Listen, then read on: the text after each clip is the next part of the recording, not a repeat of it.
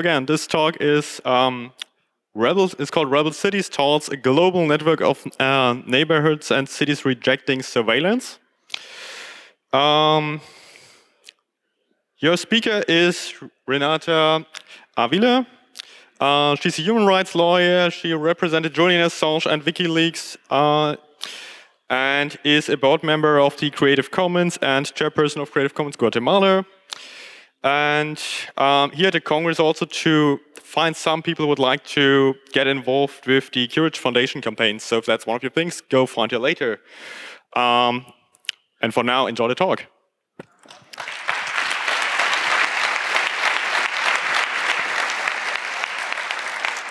Well, uh, first of all, thank you so much for having me here. Um, it is a humbling experience to be on this side because I'm usually in that, on that side. And now I know what my mother, who was uh, one, one of the four uh, women in engineering school, uh, felt in the classroom every day.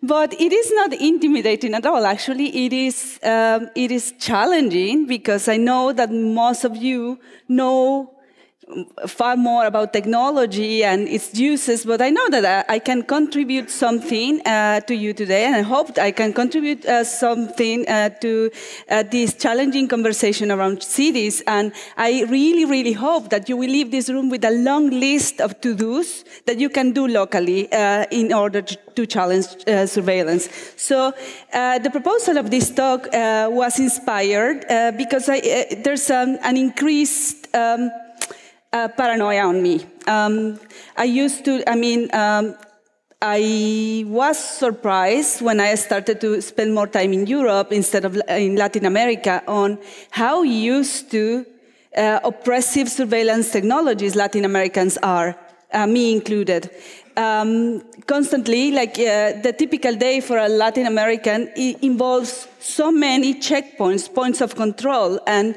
things that we, we simply got used to it. Uh, for example, to enter a building, you will uh, have to show your uh, ID like twice to private uh, security officers. Uh, you will have you will have your ID that is a biometric ID scanned and stored somewhere most of the countries do not have even data protection laws, and so on. So uh, basically, um, also another another layer of worry uh, started to bother me, and that was uh, the increased uh, protection on trade secrets. And if we saw the talk before uh, with uh, Mr. Harvey. Uh, I mean, it is getting more and more complex, these sophisticated systems of commercial surveillance to us, sell us stuff. And at the same time, it is getting more and more challenging to even know how these systems are built. Uh, Europe passed uh, this year the new Trade Secrets Directive, and uh, that will likely be exported everywhere. So uh, this, the scrutiny that citizens can uh, exercise is getting limited. And also nets of corruption. I mean, this year was especially interesting to understand. And I think that, uh, again, Latin Americans, we are more used to these uh, sophisticated, uh, connected uh, networks of corrupted people, corrupting uh, elections, corrupting many, many other things, media. Uh, but I think that this year and the election of Donald Trump and, and many other things that happened show that it, the rich um, so-called democratic countries are not immune to, to that and it is there. It, it was just not as visible. So, but, so I started, okay, uh, activism is great, but I have been working on, on uh, grassroots digital activism for the three years, and nothing is really happening. And so I I am a positive, very positive person, so I, I, decided instead of looking at what wasn't working, to look at examples that, of communities and networks that where uh, their activism is working, uh, even with uh, little resources and with very high opponents. So I found the inspiration at home. Um, at home, um, and that's uh, long before uh, Standing Rock uh, situation in the U.S. Indigenous people uh, because of uh, uh, um, a, a, legal frame, an uh, international legal frame on, in, on, the right of indigenous people to be consulted in um, projects that affect them and impact their territories and the place they live. They have the right, they have been exercising community process of, of, of uh, either accepting or rejecting mining projects, fracking projects, and any project that might uh, affect the, the place where they live. They were like the, the first hint of inspiration for me to prepare this talk because, I mean, they, most of the indigenous communities doing this uh, live below the poverty line. Most of the indigenous communities are doing these exercises and rejecting uh, things that will uh, bring to their communities relative uh, wealth, economic wealth, but will damage the rest, uh, are doing uh, very courageous, constant exercises of democracy and defeating very powerful multinationals by getting like active. Uh, but that's not new, and that, that's, that's happening more and more and more. It's, it's very invisible because, of course, your press will not report it. And of course, they are under great threat. My second inspiration was what happened and is happening in Europe, and it's very exciting. Is like really radical mayors that care, uh, uh, that place public interest above uh, uh, financial gain, are getting elected. And it is amazing how, how we, we, we have been tricked. I think we have been tricked uh, to believe that you cannot, that government is bad, that you, can, you shouldn't get involved in politics and you cannot change anything. In fact, you can change a lot if you are, if you are uh, inside power. And in Spain, it's, it's, it's, an interesting example because uh, um, uh, two uh, radical mayors got elected in the most important cities of Madrid and Barcelona. And one of the first policies that the mayor of Madrid did was policy of refugees welcome. Even, even if her government, her central government is saying like, no, no, no, no, uh, we don't want refugees in Spain and they're very racist and so on. Uh, opening the doors of the city uh, of, of, Madrid uh, to those coming and, and dedicating and allocating public funds to that, uh, it is a big step. So, uh, and I, bear with me, I'm getting closer to our issues. The next thing, and that was super exciting, is like, okay, a city can do a lot, but a network of cities can send a powerful message uh, to those uh, to those on the other side trying to control us and to manipulate us. And, and that was um, the, third example, which uh, hinted me at uh, the power of cities uh, to, and neighborhoods to, do, to change things, is uh, the free TTIP uh, zones. 60 municipalities in Europe uh, declared themselves as cities like challenging the, the TTIP. And I think that 60 municipalities, if you, if you combine all the services that they uh, purchase, all the policies that they, influence, and the constituency that they have behind, it is a very powerful political force. Uh, it is uh, all together. It, it, I mean, the population of those cities, the most of the, the most populated cities of Europe, uh, can can really shift an election uh, uh, at, that, at, at, at some point. Then, that's my other inspiration. Uh, she's Nélida Sifuentes. She's a parliamentarian from Bolivia, and she is my age. I, when I, I, read the list of achievements of Nélida and my tiny, my tiny list of achievements, I feel like, a, a, like really, really, really, uh, I have done nothing with my life. Uh, she's, uh, she's a community leader and radio activist. Um, and she got elected to the assembly uh, in Bolivia, an indigenous woman. Imagine all the barriers that she had to defeat. And she became free software activist. I, I know that we haven't heard so much of, of, of this kind of activism, but again, it's the things that don't, don't get reported so much. And as part of the amazing work, work that Nélida has done uh, on, uh, on the local uh, is to design uh, a complete a whole framework for free software, free hardware, and digital sovereignty. And what is very interesting is, okay, it might, it might be super impractical, it might be like really difficult to implement in Bolivia, but what, it, what is really important for me is uh, that uh, she departed from what she experienced uh, of colonization, of oppression, of exclusion, of racism. So all the frames that she developed are designed from the local realities and trying to affect local policies. And if, uh, uh, if in Bolivia, uh, someone who only adopted like late in life technologies thinking about that, why, why we are not thinking on more proactive, uh, positive agendas around our issues?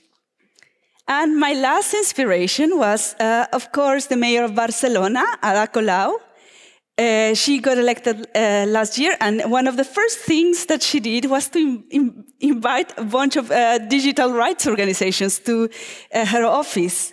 And in her office, instead of uh, having, you know, like diplomas and things about herself, what she had in her desk was um, the picture of the first anarchist woman who got into power in Spain, the first minister, I think it was of health. And it was a very interesting experience because she didn't know anything about our topics, technology, surveillance, and all of that.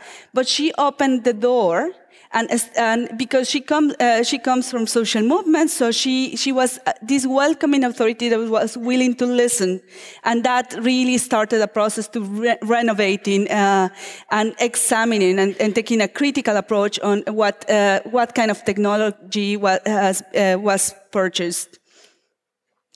And, and then, getting closer to the topics, uh, ACLU uh, connected also a network of cities uh, to challenge uh, police surveillance and the kind of uh, technology that police was uh, getting in order to monitor citizens. Well, that got me back to to my my my local neighborhood because uh, bad policy is contagious. Not only corruption is contagious, bad policy too. And ba uh, bad public policy, uh, when money is involved, it really gets, it, it spreads quickly, especially when the asymmetry of the knowledge of uh, those who take the decisions in public office and those outside convincing them uh, and with a big stake making a big profit on it, uh, uh, it, it is huge um, municipalities in, in, in, Latin America, in many countries, in, like even here, municipalities and the people uh, buying the things, they do not have a very sophisticated knowledge on what they are acquiring. And, and usually vendors of surveillance technologies and vendors of control technologies and uh, even vendors of these fake uh, technologies to improve bad neighborhoods and so on uh, arrive with very shiny videos and uh, brochures trying to convince them that it is good and they will get results and they will, it, they, they will, it, will, it will be good for the city to ad adopt this technology. Um, and technology, like uh, adopting a technological solution usually um, sounds good when you are trying to sell, uh, to, to, sell your political project. Uh, usually in the in in each and every government plan nowadays, you you hear the uh, the mention of technology, technology, technology to improve our lives, and smart cities, of course. But I, I do not even want to get into the smart cities issue. Um, I want just uh, to state in, in this uh, in this. Um, imbalance in, in the power of those uh, taking those decisions. So the thing is, um, and I, I, wanted to make that very clear, that when, when, when a city and when a space, when a neighborhood embraces uh, surveillance technologies, we are sacrificing more than just privacy. Uh, and I think that we have failed uh, in the activism to, uh, to, to, quantify what we are losing, not only in terms of rights, but also in terms of what you can do instead with the money and the resources that uh, we are investing in, in, in, all the surveillance technology and all the uh, sensors around us in the cities. And that, that could be like a, a like better parks, better libraries, better, better uh, public spaces for youth at risk.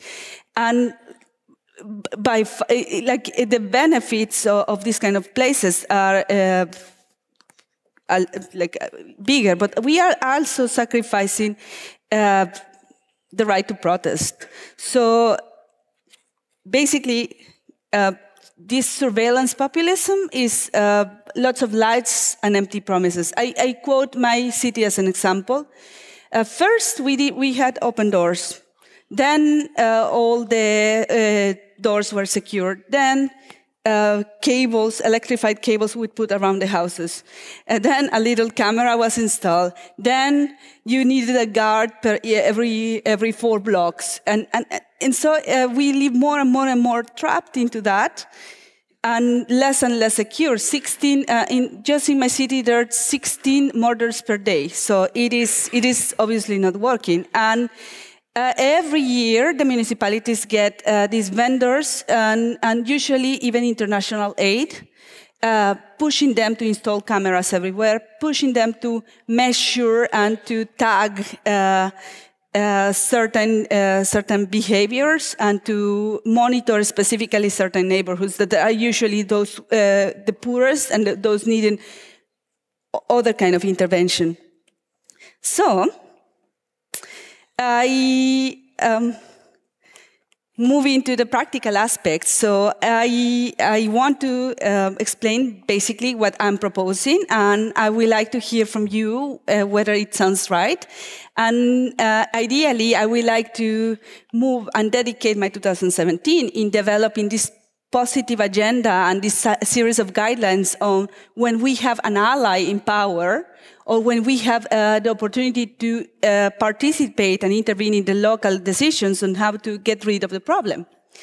And, and, if we are lucky enough, and if uh, we have a supportive local government uh, elected, the first uh, step that I suggest in this frame of uh, rebel uh, neighborhoods and cities uh, against surveillance is to make an inventory of all the surveillance that has been like installed over the last five years, and to look into the into the kind of contracts, have the cost and efficiency of the surveillance installed and if it's not working and or if it's not even data available of that get rid of that. If we, if a, a, person in, in in a position of power is able to decide get rid of this system it is important to it is important to make it one of the first interventions in, in the government exposing to the to the city uh, how it, it is a waste of time and money.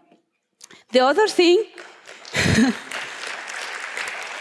Uh, the other thing that um, we can also dismantle the surveillance systems in our neighborhoods and buildings. I don't know, many, uh, more and more we live in privatized spaces uh, governed by the dictatorship of the administrator. I don't know if that happens to you, but I, I am living for a while in Belgrade, and I don't know, don't understand Cyrillic. So it was a, there was a notice in my building saying I didn't, I couldn't read. And it was uh, inviting all the, all the tenants to come because they wanted to install a camera.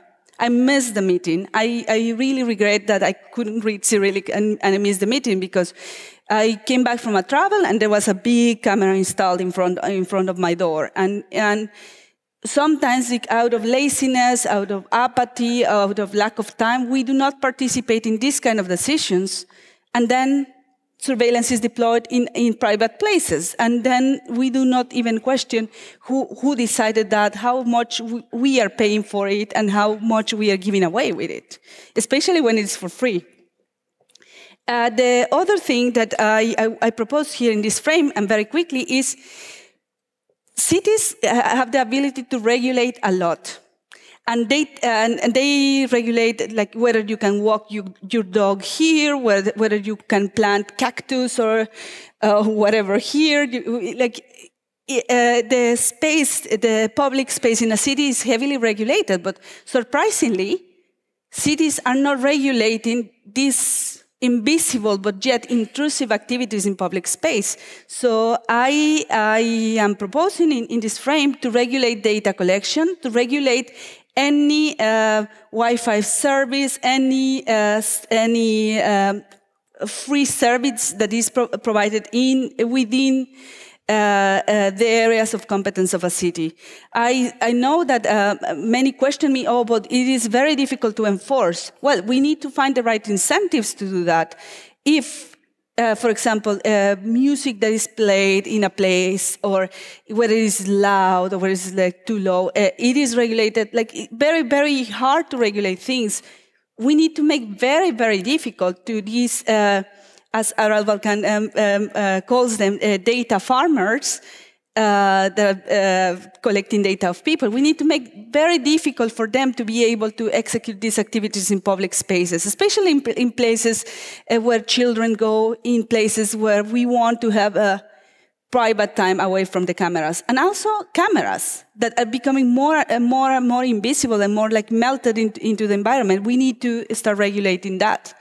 And um, regulating what private actors do too uh, more in uh, more uh, private security is invading every space, not only uh, public space, but uh, spaces that the general that op open to the public. And, and we need to increase, like cities can increase the scrutiny on what they are doing with the data and what, the, what these people are actually doing with the monitoring activities.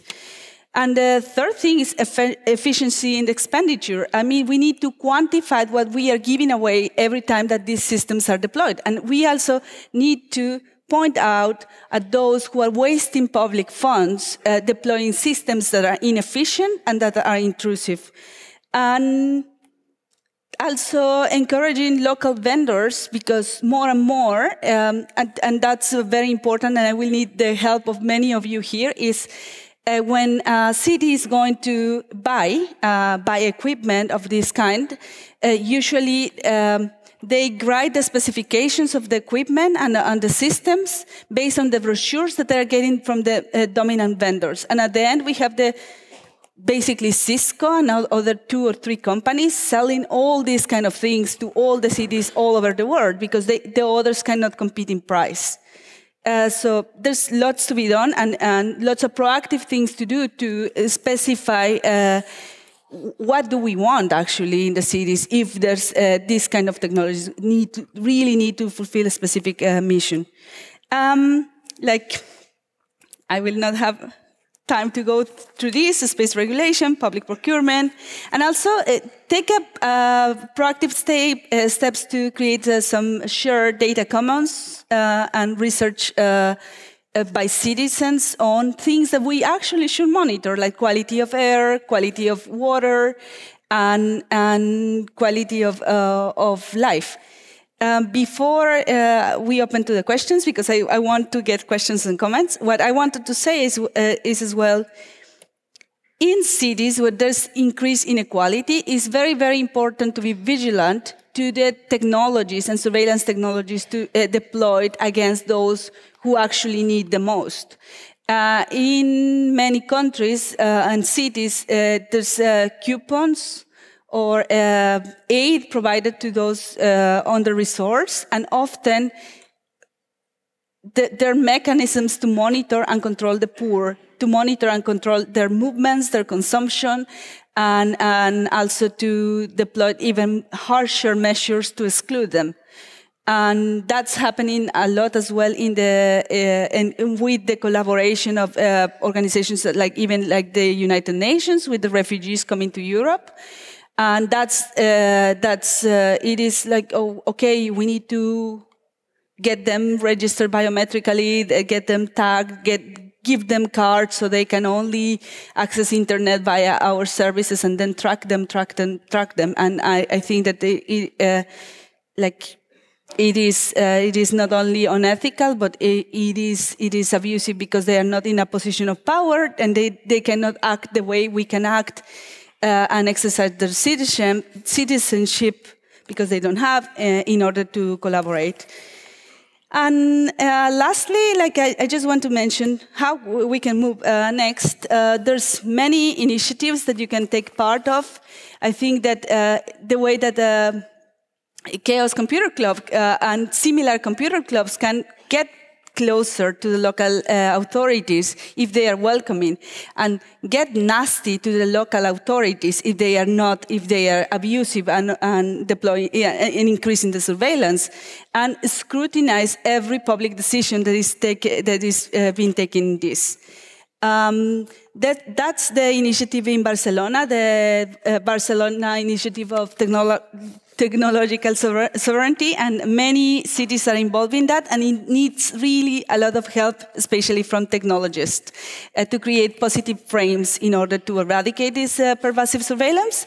I am a member of uh, the advisory board of DiEM25, the initiative uh, towards a more democratic Europe, and we are setting up the uh, techno technology task force to invite technologists uh, to help us not only on these aspects, but in general aspects to have a uh, technology agenda consistent, uh, consistent with democracy. And if you are in a position of power and inside a government and you find a contract of these very sophisticated contracts of surveillance technology, uh, it to your preferred uh, submission platform and, and, make it available because we need a repository and we need to document all the practices of all the municipalities doing these kind of things. And uh, yes, so questions or anyone? Comments?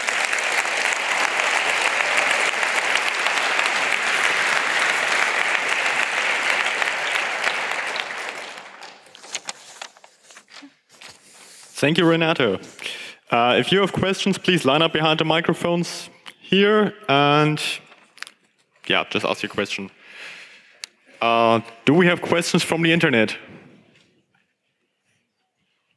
Seems not so. Okay.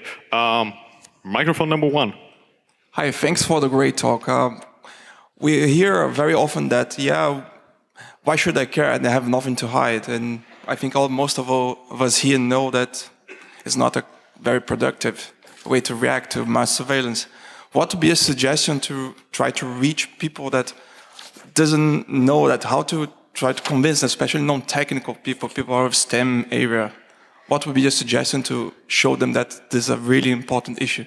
You know, for me, it's a super good question because uh, usually uh, uh, surveillance is linked to criminal activity and it is linked to, okay, it is just for those doing dodgy things. And the important thing of uh, many of the data collection activities that they take place in public uh, spaces is that it has nothing to do with, uh, with uh, uh, crime prevention. It has everything to do with marketing, with uh, commodification of our behaviors, with us getting excluded from certain services or getting more expensive services, and uh, too often also with uh, mechanisms of social control. So I think that we have to move away from all surveillance and cameras just to activists and dissidents and, and to monitor crime. And it, it, we have to make it personal and recognize that it's part of a, a system of a sophisticated system of, uh, of manipulation of uh, human behavior that's making our lives not better, but actually more expensive and uh, exclusion and discrimination easier. Thank you. Signal angel, question from the internet. So the question is, Empowering locals would mean that they would need to see the importance of having no surveillance. So, what should uh, you advise to tell people who are convinced that surveillance is a good thing?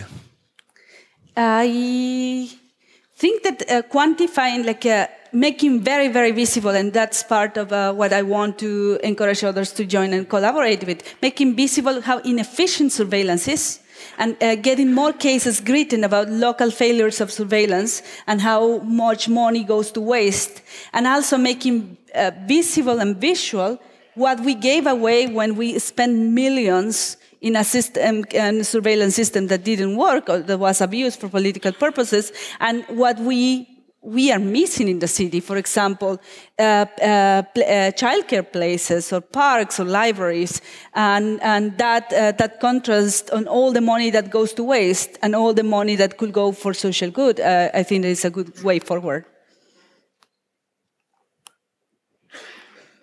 All right. Oh. Yeah. Microphone number two. Hi, um, hi Renata. It's more more of a comment, really, um, but that's okay. I guess if space is open.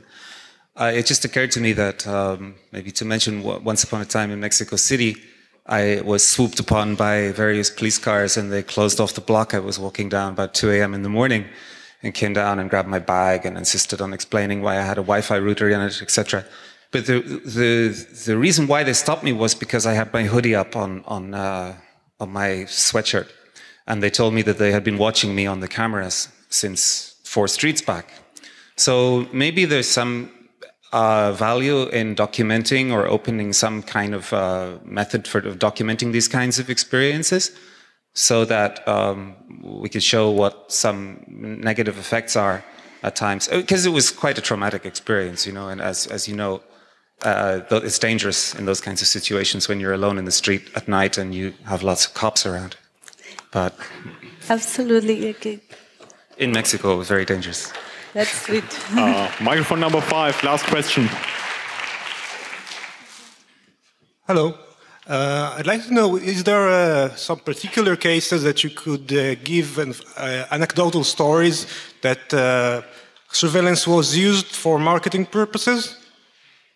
Well, I, I, I can mention some. Um, I I think that I mean actually I think that uh, like the kind of surveillance that we have in our browsers uh, all the time that uh, monitors our habits and our our consum consumption patterns uh, in order to sell us stuff. But I have a, a quick other example on free Wi-Fi. Uh, usually when you have to sign, like when you are in a public space, in a public park, and a company agrees on give you or provide uh, your, uh, your city, your small city of free Wi-Fi in public spaces, there's no, no, no such thing as free Wi-Fi if it's provided by a company. And usually what it does is captures the data of all the people attending a certain, and monitors and quantifies the data of all the people using this service for, for free and then they, they get it back in in sophisticated forms of advertising that uh, like benefit at the end uh, consumption of certain kind of products. Yeah. Um, but uh, some uh, particular cases of surveillance used in that manner, uh, surveillance uh, deployed by the city. surveillance deployed by the city is usually when it's in combination, is it in public-private partnership. But I, I can say, tell the case in, my, in Guatemala, but the, you know, everything happens in Guatemala, so it's, it's, it's not the best uh, case. But usually, like what, what the municipality was doing is they were selling the data of high profile people, movements that they capture with a camera to blackmail politically. So they will get, uh, they will get, uh, collect all the, who went to which place at what time, the video, because all the, all the city is covered with cameras. And that was, uh, that was, um, uh, done with the purpose of uh, politi political blackmail. Yeah. Uh, yeah. Unfortunately, time is up. Are you still available if people have more questions? can, can they still find you, essentially? final Can, are you still at the conference if people have more questions?